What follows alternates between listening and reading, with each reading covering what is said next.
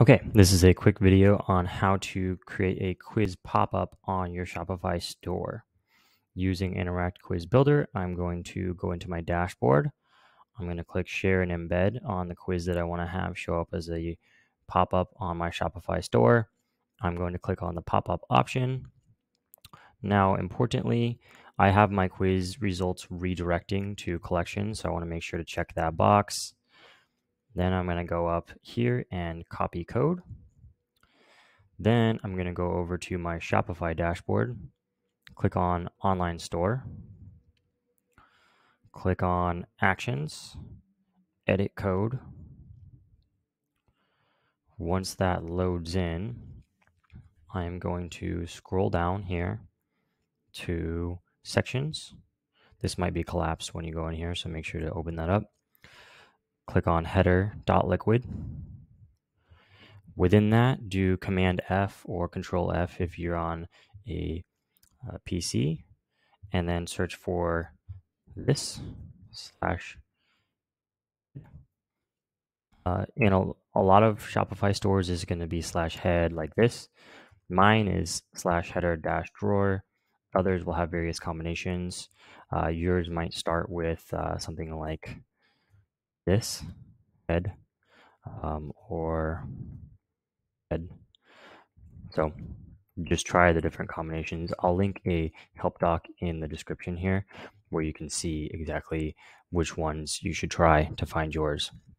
Now you're going to paste that code that you copied from Interact right before this slash header dash drawer or again slash head closing tag. This is called the closing tag of the header. So I'm going to do control command V or control V on a Microsoft, and then I'm going to click save. Now, importantly, over inside of Interact, there's this setting that says hiatus. This is how long the uh, pop up is going to not show once someone has seen and interacted with it. So either exited out or taken the quiz. Typically, you want to set this at least 10 days so people aren't seeing the pop up every single time they come in. But let me just show you how this works on my store now. So I'm going to go to pages. I'm going to go to my take our quiz page and then I'm going to view page. And I have my delay set at five seconds. So here it is. What's your skin type? Pops up here.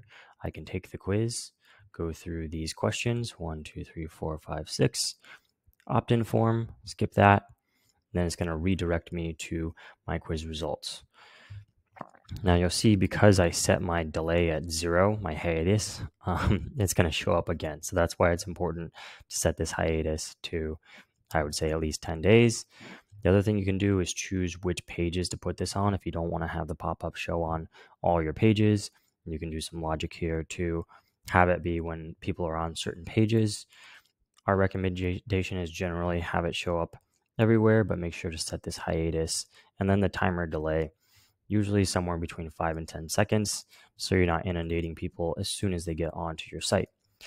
So that is how you create a quiz pop up on Shopify.